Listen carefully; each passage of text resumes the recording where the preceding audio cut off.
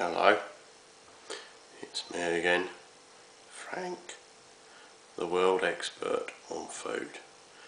Now, today we're not going to talk about the five macaroni cheese thingamajig.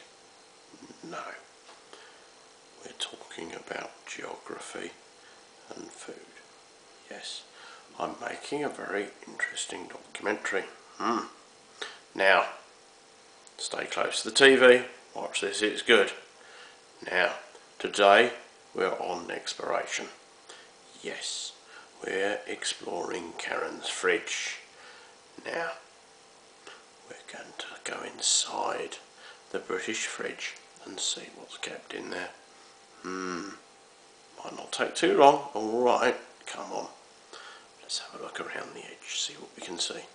Now, Karen's fridge specially designed to keep all the magnets of the places she's been. There's lots of places she's been, most of them in America, because she likes it a lot. Hmm. Now, let's go a little bit further. Let's enter the world of a British fridge.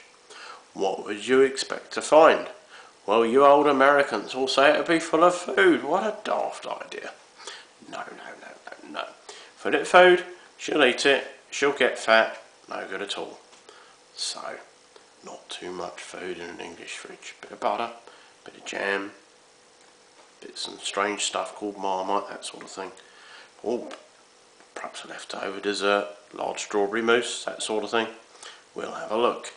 So, let's go see in the English fridge. Hmm. Camera angle, which is opening. See the light? What's that we see? Hmm. Looks like a strawberry mousse to me. Yeah. Pot of stuff, butter. Hmm. Let's find something English, eh? The Marmite. Mmm. What is it? Nobody knows. It's brown and sticky. You love it or hate it.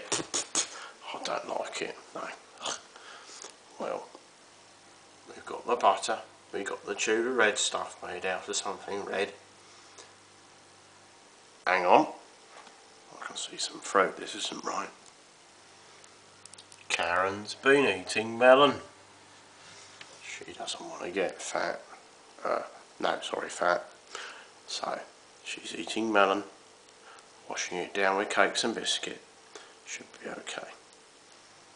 Champagne for Karen, beer for Graham, milk for the coffee, 2% fat. Very British, oh yes. It says it on the label. Mm, just like me. And we don't know what that is. Hmm. Nobody does. So there you are, Frank and Moose from the British Fridge. Bye for now.